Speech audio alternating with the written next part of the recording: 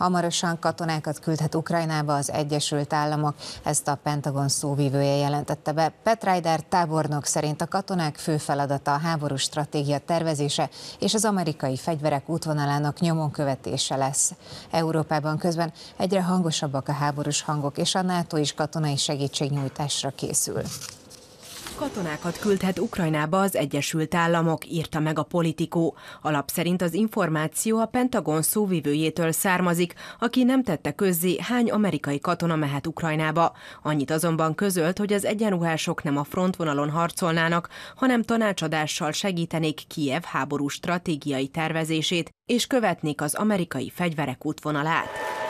Ukrajnában jelenleg is vannak amerikai katonák, az Egyesült Államok pedig fegyverekkel is segít.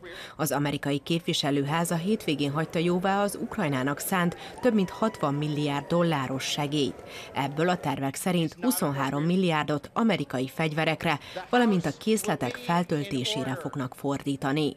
Közben Lengyelországban is élesedik a helyzet. Lengyelország kész atomfegyvert fogadni a területén. Ez derült ki abból az interjúból, amit a lengyel elnök adott egy lapnak. Andrzej Duda úgy fogalmazott, ha arról döntenek a szövetségesek, hogy a NATO keleti szárnyának biztonságát atomfegyverek telepítésével erősítik meg, akkor Varsó készen áll erre. Ez egy olyan spirál, amiben nagyon nehéz kiszállni. Mindig van egy eh, van egy lépés, amire muszáj egy ellenlépést tenni. A háborús spirál folytatódik, ha Lengyelország amerikai atomfegyvert fogad a területén. Ezt az Ökonomusz gazdaságkutató alapítvány igazgatója mondta. Bendarzsevski Anton szerint egy ilyen fegyver elrettentő ugyan, de felelősséggel is jár, hiszen célkeresztbe helyezi a fogadó országot és a régiót. 2022-ben a háború hozta meg azt a fordulatot, amikor Európa is fegyver, fegyverkezni kezdett, és elindult az a fajta eszkalációs spirál, amit most látunk. Kaliningrádban, ugye orosz terület, orosz exklávé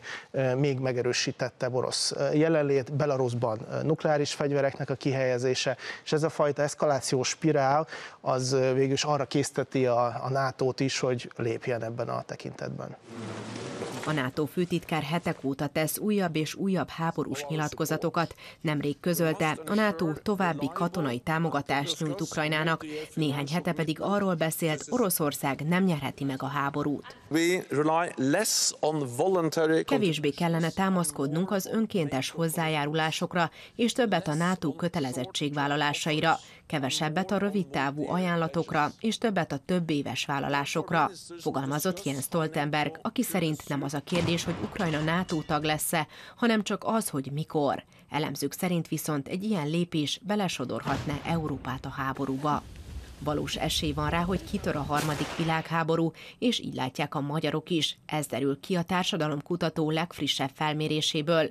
A válaszadók többsége szerint azonnali tűzszünet és béketárgyalás kell. A választók 84-85 százaléka azt válaszolta, hogy egyetért ez az állítással, tehát gyakorlatilag tűzszünetet kérni és békét szolgalmazni, ez a magyar lakosság fő iránya. Brüsszel egy világháborús készülődéssel reagál. Veszélyes és hamis felfogás az, hogy Európa háborúban áll.